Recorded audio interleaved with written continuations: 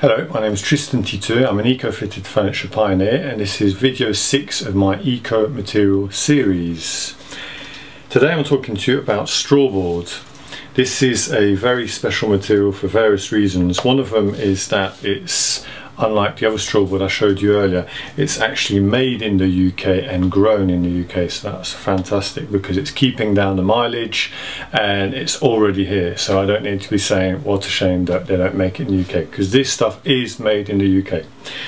Now the other thing is it doesn't use any glue to bind the, the straw on the inside, it just uses high pressure it's got cardboard on the outside that keeps it together slightly and that uses a bit of glue to stick it on. That's all the glue that's, that, that's inside it.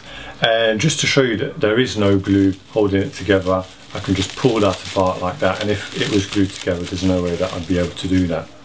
Also it's the straw is pretty minimally processed you can see that's pretty much just straw it's not even being chopped up into small bits or anything like that so that's fantastic this material is normally used for insulation but I've been the first person in the UK, if not the world, to use this for fitted furniture. I was attracted by the idea that it's a waste material, it's also a byproduct.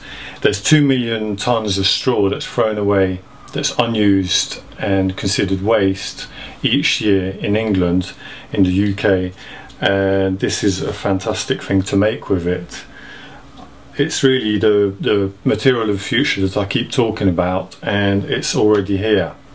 So MDF and other materials could easily catch up and be more like this really, more sustainable.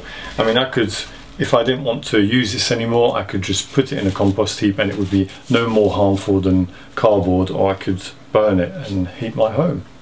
So that's strawboard for you. And video 7, the next video will be about recycled plastic. Thank you for listening, I appreciate it.